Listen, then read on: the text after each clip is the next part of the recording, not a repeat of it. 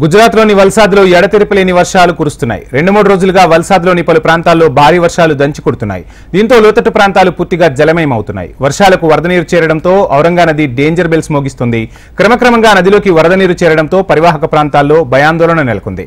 మరోవైపు ఔరంగా నదిలో వరద పెరగడంతో బందర్ రోడ్ దర్యావాదులో రోడ్లపై నీరు ప్రవహిస్తోంది. లోతట్టు ప్రాంతాలు పూర్తిగా జలమయమయ్యాయి. బాధితులను పునరావాస కేంద్రాలకు తరలించారు అధికారులు.